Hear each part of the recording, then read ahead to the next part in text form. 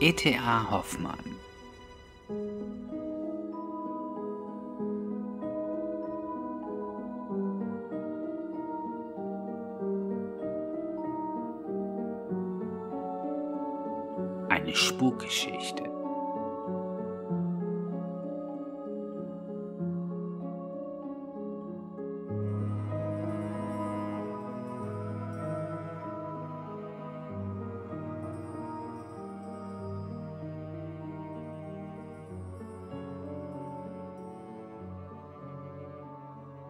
Ihr wisst, dass ich mich vor einiger Zeit, und zwar kurz vor dem letzten Feldzuge, auf dem Gute des Obristen von P befand.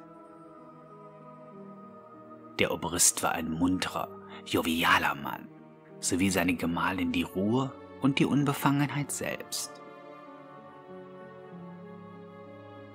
Der Sohn befand sich, als ich dorten war, bei der Armee, so dass die Familie außer dem Ehepaar nur noch aus zwei Töchtern und einer alten Französin bestand, die eine Art von Gouvernante vorzustellen sich mühte, unerachtet die Mädchen schon über die Zeit des Gouvernierens hinausschienen.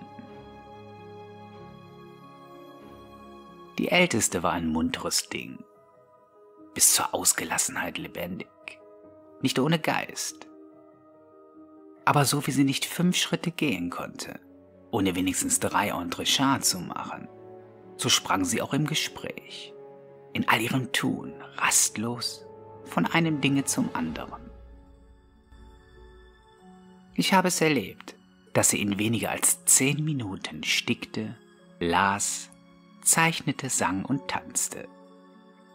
Dass sie in einem Moment weinte um den armen Cousin, der in der Schlacht geblieben, und die bitteren Tränen noch in den Augen, in ein hell aufquiekendes Gelächter ausbrach, als die Französin unversehens ihre Tabakdose über den kleinen Mops ausschüttete, der sofort entsetzlich zu niesen begann, worauf die Alte lamentierte.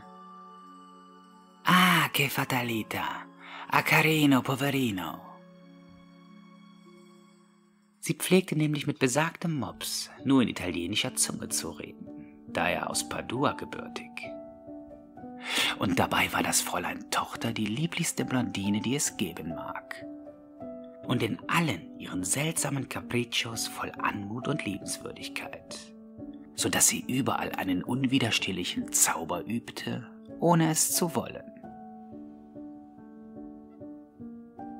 Das seltsamste Widerspiel bildete die jüngere Schwester, Adelgunde geheißen, Vergebens ring ich nach Worten, euch den ganz eigenen, wunderbaren Eindruck zu beschreiben, den das Mädchen auf mich machte, als ich sie zum ersten Mal sah. Denkt euch die schönste Gestalt, das wunderherrlichste Antlitz. Aber eine Totenblässe liegt auf Lipp und Wangen, und die Gestalt bewegt sich leise, langsam, gemessenen Schrittes. Und wenn dann ein halblautes Wort von den kaum geöffneten Lippen ertönt und im weiten Saal verklingt, fühlt man sich von gespenstischen Schauern durchbebt. Ich überwand wohl bald diese Schauer und musste, als ich das tief in sich gekehrte Mädchen zum Sprechen vermocht, mir selbst gestehen, dass das Seltsame, ja Spukhafte dieser Erscheinung nur im Äußeren liege, keineswegs aber sich aus dem Inneren heraus offenbare. In dem wenigen, was das Mädchen sprach, zeigte sich ein zarter, weiblicher Sinn, ein heller Verstand, ein freundliches Gemüt. Keine Spur irgendeiner Überspannung war zu finden, wiewohl das schmerzliche Lächeln, der tränenschwere Blick wenigstens irgendeinen physischen Krankheitszustand, der auch auf das Gemüt des zarten Kindes feindlich einwirken musste, vermuten ließ. Das Seltsamste war aber, dass, so wie es abends acht Uhr geworden, das Fräulein erst von der Französin, dann von Mutter, Schwester, Vater gemahnt wurde, sich in ihr Zimmer zu begeben, so wie man kleine Kinder zu Bette treibt, damit sie nicht übermüden, sondern fein ausschlafen. Die Französin begleitete sie, und so kam es, dass beide niemals das Abendessen, welches um neun Uhr angerichtet wurde, abwarten dürften. Die Obristin, meine Verwunderung wohl bemerkend, warf einmal, um jeder Frage vorzubeugen, leicht hin, dass Adelgunde viel kränkle, dass sie vorzüglich abends um neun Uhr von Fieberanfällen heimgesucht werde und dass daher der Arzt geraten, sie zu dieser Zeit der unbedingtesten Ruhe zu überlassen. Ich fühlte, dass es noch eine ganz andere Bewandtnis damit haben müsse, ohne irgend Deutliches ahnen zu können. Erst heute erfuhr ich den wahren, entsetzlichen Zusammenhang der Sache und das Ereignis, das den kleinen, glücklichen Familienkreis auf furchtbare Weise verstört hat.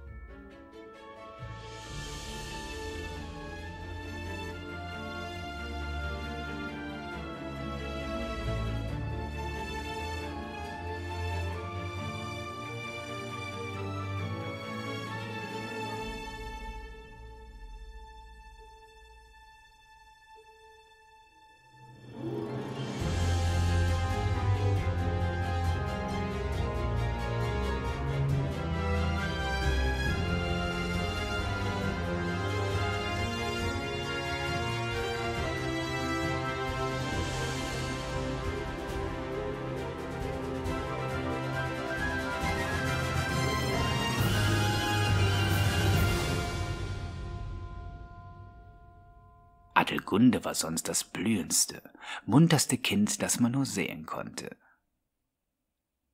Ihr vierzehnter Geburtstag wurde gefeiert. Eine Menge Gespielinnen waren dazu eingeladen. Die sitzen zusammen in dem schönen Boskett des Schlossgartens im Kreise umher und scherzen und lachen und kümmern sich nicht darum, dass immer finstrer und finstrer der Abend heraufzieht, da die lauen Juliuslüfte erquickend wehen und erst jetzt ihre Lust recht aufgeht. In der magischen Dämmerung beginnen sie allerlei seltsame Tänze, indem sie Elfen und andere flinke Spukgeister vorstellen wolle. Hört, ruft Adelgunde, als es im Boskett ganz finster geworden.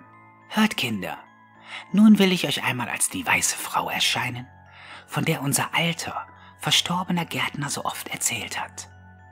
Aber da müsst ihr mit mir kommen bis ans Ende des Gartens, dorthin, wo das alte Gemäuer steht.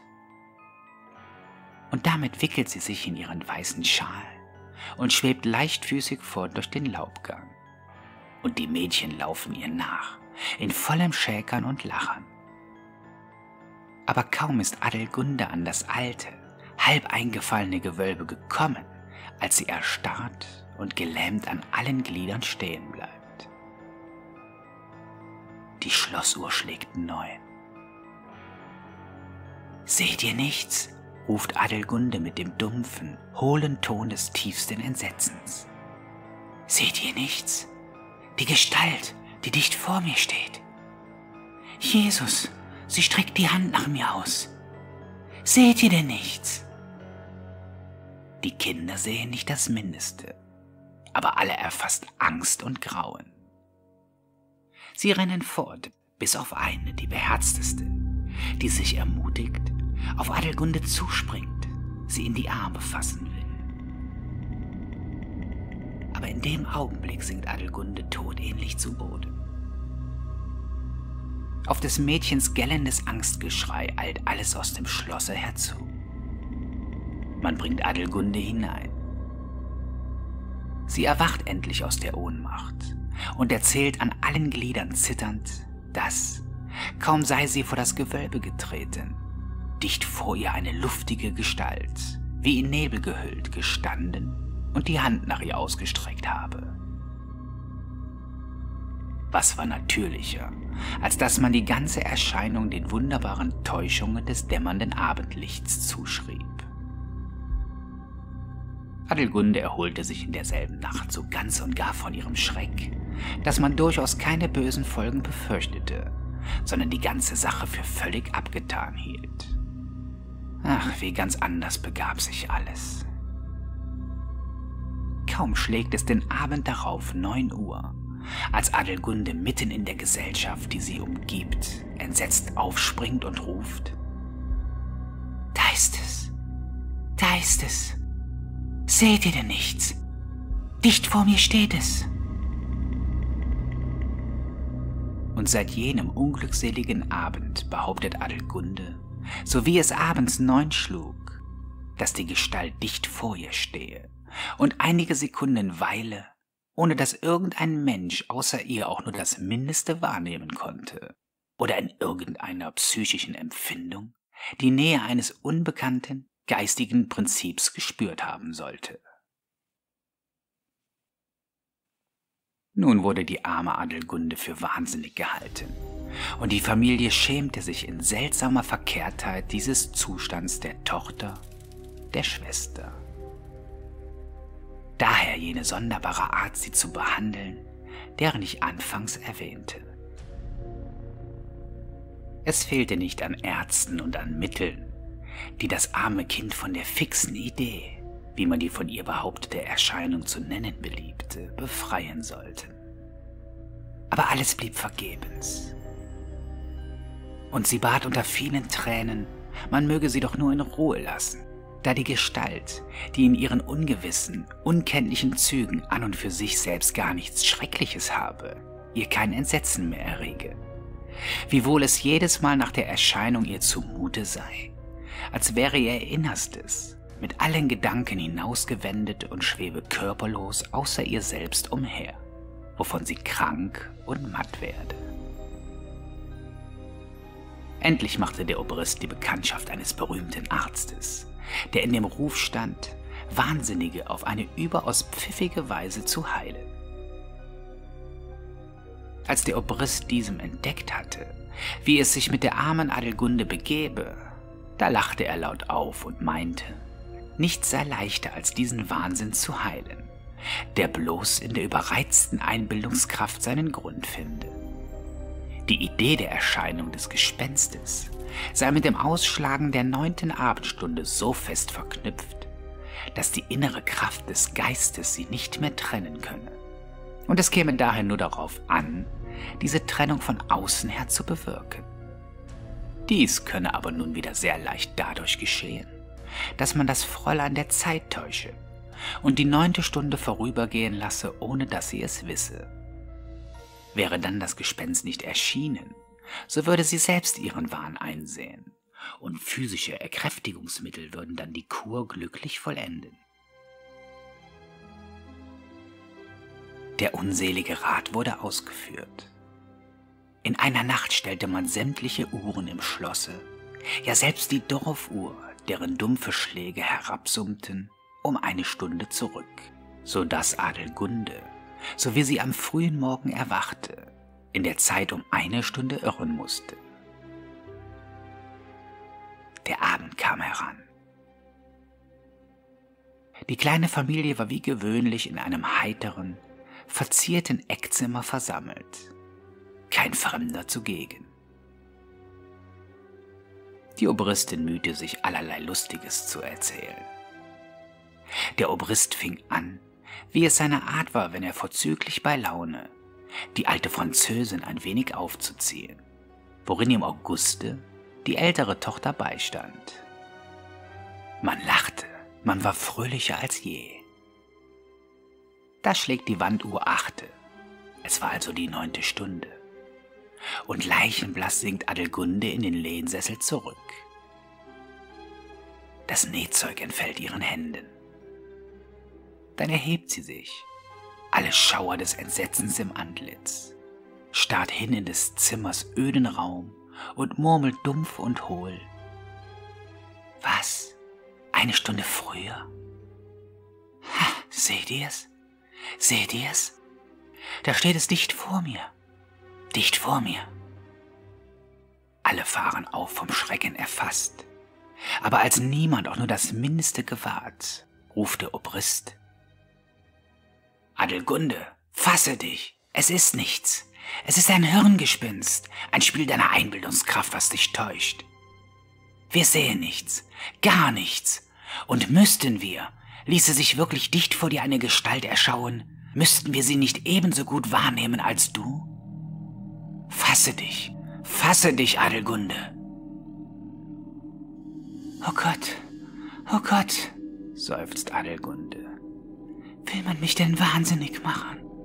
Seht, seht, da streckt es den weißen Arm lang aus nach mir. Seht, es winkt. Und wie willenlos, unverwandten starren Blickes, greift nun Adelgunde hinter sich, fasst einen kleinen Teller, der zufällig auf dem Tische steht, reicht ihn vor sich hin in die Luft, lässt ihn los und der Teller, wie von unsichtbarer Hand getragen, schwebt langsam im Kreis der Anwesenden umher und lässt sich dann leise auf den Tisch nieder. Die Obristin und Auguste fielen in tiefe Ohnmacht, der ein hitziges Nervenfieber folgte. Der Obrist nahm sich mit aller Kraft zusammen, aber man merkte wohl an seinem verstörten Wesen die tiefe, feindliche Wirkung jenes unerklärlichen Phänomens. Die alte Französin hatte, auf die Knie gesunken, das Gesicht zur Erde gebeugt, still gebetet. Und so blieb sie wie Adelgunde frei von allen bösen Folgen. In kurzer Zeit war die Obristin dahingerafft. Auguste überstand die Krankheit, aber wünschenswerter war gewiss ihr Tod als ihr jetziger Zustand. Sie, die volle herrliche Jugendlust selbst, wie ich sie vorhin beschrieben, ist von einem Wahnsinn befallen, der mir wenigstens grauenvoller, entsetzlicher vorkommt als irgendeiner den jemals eine fixe Idee erzeugte. Sie bildet sich nämlich ein, sie sei jenes unsichtbare körperlose Gespenst Adelgundes und meidet daher alle Menschen oder hütet sich wenigstens, sobald ein anderer zugegen ist, zu reden oder sich zu bewegen.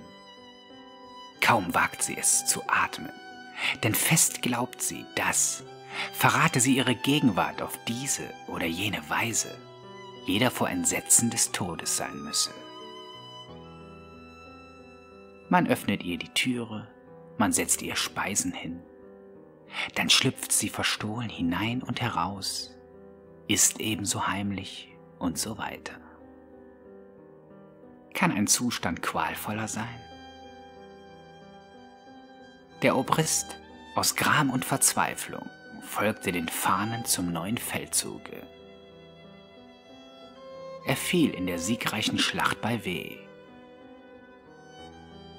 Merkwürdig, höchst merkwürdig ist es, dass Adelgunde seit jenem verhängnisvollen Abende von dem Phantom befreit ist. Sie pflegt getreulich die kranke Schwester und ihr zur Seite steht die alte Französin.